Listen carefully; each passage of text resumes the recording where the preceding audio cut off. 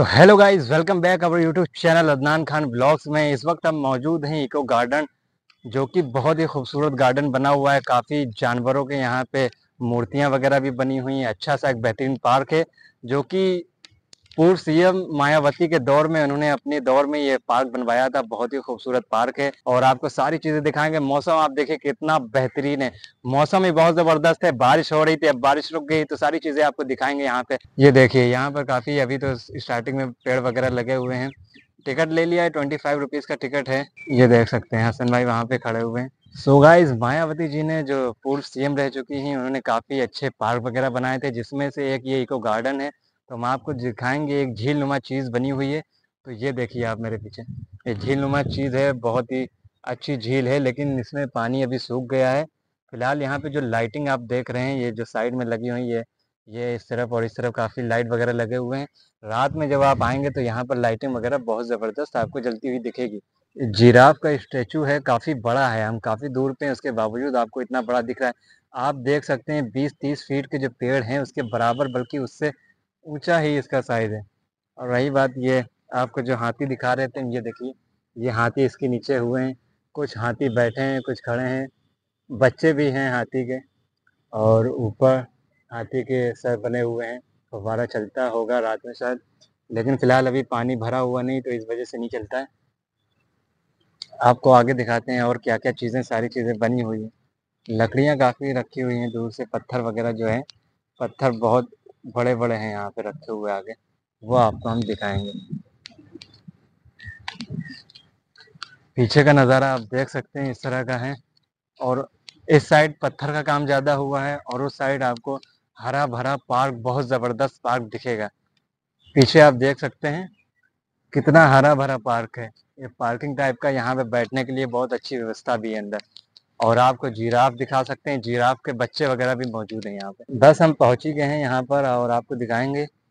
और काफ़ी सारे जानवर हैं जिनका नाम भी हमको नहीं पता, वो आपको यहाँ पर देखने को मिल जाएँगे। बैठने के लिए आप देख सकते हैं कितनी यहाँ पर पत्थर की सीट बनाई गई हुई ये देखिए, और काफ़ी मतलब जो डिज़ाइन है, फिनिशिंग वगैरह है, आप देख सकते हैं फिनिशिंग वगैरह कितनी ही बेहतरीन है। और मतलब यहाँ से आप देख सकते हैं, यहाँ से लेकर ये उस तरफ़ तक पूरे बराबर से सीट यहाँ पर लगी हुई है। जीने हैं अंदर जाके। इधर आप वॉक कर सकते हैं। और ये देखिए, अब हम लोग एंट्री ले रहे हैं यहाँ पर। हसन भाई वो आ रहे हैं। हसन भाई अभी बहुत थोड़ा पीछे हैं मुझसे। देखिए, वो मोबाइल चला रहे हैं। उनका ध्यान मोबाइल में है। और यहाँ पे देख सकते हैं जीराफ। कितना ही बड़ा जीराफ बना हुआ है। यहाँ पर और आप पत्थर देख सकते हैं। कितने पत्थर हैं बड़े बड़े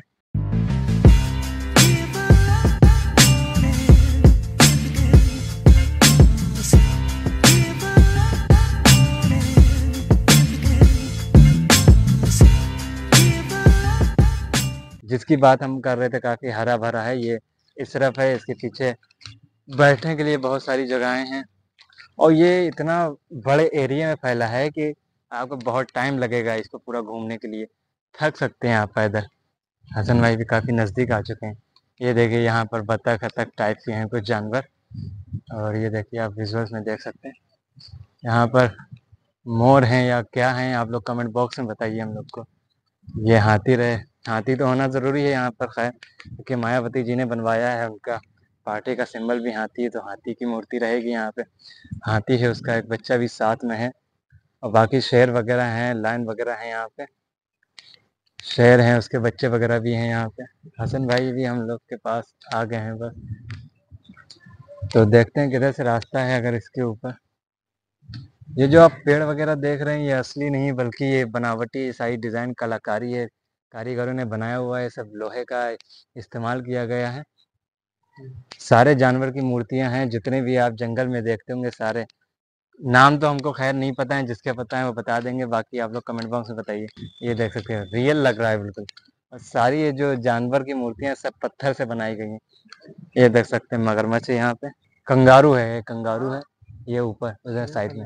तो वाइज यहाँ पर देखिए, हेलीकॉप्टर भी जा रहा है, आपको लाइव दिखा रहे हैं हेलीकॉप्टर मिल गया हमको। कितना इंटरेस्टिंग लाइट वगैरह जल रही है, पता नहीं कहाँ जा रहा है। ये देखिए, निकल गए आप। गाइज़ आपने तो रियल में सिर्फ़ एक, दो ही जानवर देखे होंगे या चार, पाँच देखे होंगे। लेकिन यहाँ पर कई सारे जानवरों की मूर्तियाँ बनी हुई हैं। बहुत सारे जानवर हैं तरह तरह के हैं, जिनको आपने कभी ना देखा होगा, ना कभी वीडियोस में देखा होगा। यहाँ पे मूर्तियाँ वगैरह बनी हुई है। ये देख सकते हैं, हाथी है, काफ़ी बड़ा है।